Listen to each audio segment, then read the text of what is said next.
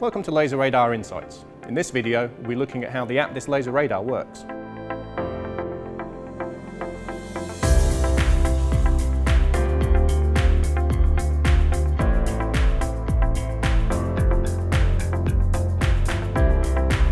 So exactly what is a laser radar? Simply put, it's a long-range, non-contact, laser-based, accurate measurement system. An infrared laser beam is generated internally, then directed at an object via a steerable mirror. By accurately knowing the position of the mirror using rotary encoders and determining the distance or range to the object from the properties of the laser beam, the position of an object can be accurately measured over long distances. As the laser radar uses an infrared laser beam to perform the measurement, and we cannot see in the infrared, unlike for instance goldfish, the red laser you see here is purely for us to visualise the beam position. Mirror angles in azimuth, left-right in this case, and elevation up and down are determined by rotary encoders, as already mentioned. But how does the laser radar measure range?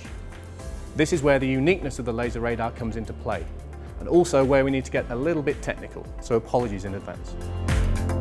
The infrared laser is frequency modulated inside the scanner and is split. Part of the beam goes up to the mirror, hits an object and is reflected back through the mirror into the scanner. Comparing the reflected signal to the split signal that has taken a shorter path will show a phase shift between the two signals.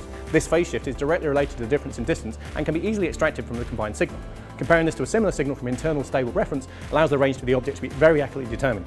Quite complicated, I'm sure you agree, but there's more. To help with the range determination, the beam is also focused. In fact, the beam leaving the scanner is only a little smaller than the mirror, but by the time it reaches the object, it is as small as a full stop. This has two advantages. One, it allows for very precise measurement of features, and two, it allows the range analysis to be concentrated over a small distance or depth of field, increasing the resolution. So why go to all this trouble? Frequency shifting, reference signals, laser splitting, beam focusing, for one simple reason, the need for a tiny return signal. Using this frequency analysis method means that the amount of return energy required is a minuscule proportion of the transmitted energy.